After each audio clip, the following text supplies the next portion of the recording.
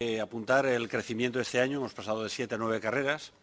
que viene a dar respuesta a la gran afición que en estos momentos tenemos en la provincia de Castellón. Yo creo que es algo general, por, yo creo que me debería decir por toda España, al running. Son, eh, con esta presentación hacemos eh, la primera presentación de, los circuitos, de los nueve circuitos que tiene la Diputación, todos, todos y cada uno de ellos enfocados al deporte popular. Eh, son muchas las acciones, como, y no voy a enumerar ahora todas las acciones que lleva a cabo la Diputación en materia de deporte, pero sí que una de las líneas estratégicas dentro del área de deportes es la de la promoción de los circuitos populares,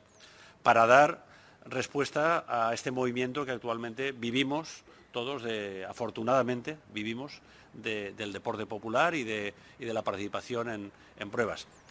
Eh, sin ir más lejos, el año pasado estábamos hablando de más de 6.000 participantes, números así por encima, sobre los 6.000 participantes, con una media de, estamos una media de los 700 participantes en cada una de las pruebas, lo cual viene a demostrar el, éxito. Por tanto, como decía, vaya eh, esa primera idea que era la de, la de que la Diputación tiene que continuar estar, estar apoyando un movimiento como que está tan afianzado ya en nuestra sociedad.